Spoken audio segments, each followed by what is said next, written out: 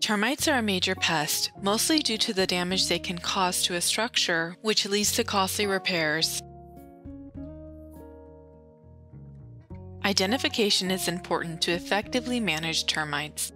In California, the two most common termites that cause structural damage are drywood termites and subterranean termites.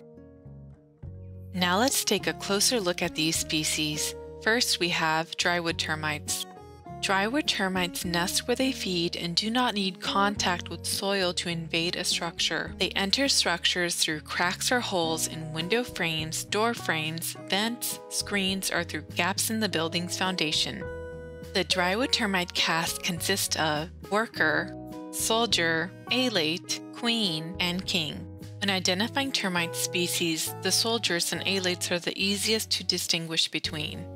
Drywood soldiers have teeth on their mandibles and have a wide pronotum. Drywood alates have an orange-brown head and dark brown to black body and have cross veins on their wings. When looking for signs of drywood termites, look for damaged wood, kick-out holes, fecal pellets, swarming alates, discarded wings, hollow wood, and bubbled paint. Now let's look at subterranean termites. Subterranean termites nest in soil and forage away from their nest. They depend on moist environments and build mud tubes to prevent themselves from drying out when foraging above ground. Infestations occur from base level or from underneath the building's foundation. The subterranean termite caste consists of worker, soldier, alate, queen, and king. Subterranean soldiers have no teeth on their mandibles and have a narrow pronotum. Subterranean alates have a dark brown to black body and head and no cross veins on their wings.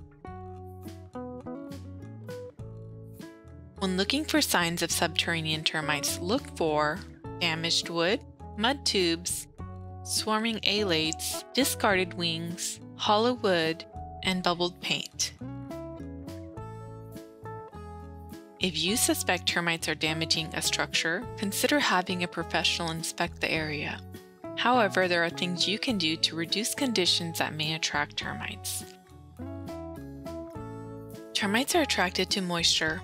Reduce moisture in and around structures to manage conducive conditions. Termites are attracted to decaying wood and soil to wood contact. Seal cracks and gaps in screens, vents, or in the building's foundation to prevent termites from accessing the wood inside. Let's look at some examples of conducive conditions and best practices to eliminate them. Repair irrigation or pipe leaks in and around structures. Keep mulch at least a foot away from structures. Trim vegetation at least 18 inches away from the structure. Make sure that water is draining away from the building. Remove decaying tree stumps that are close to structures. Seal gaps or holes in screens, vents, or in the building's foundation. Clear piles of wood or plant debris away from structures.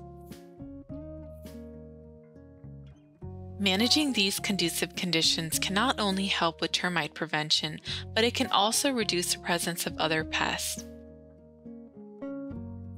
For more information, please visit our website at cdpr.ca.gov/schoolipm.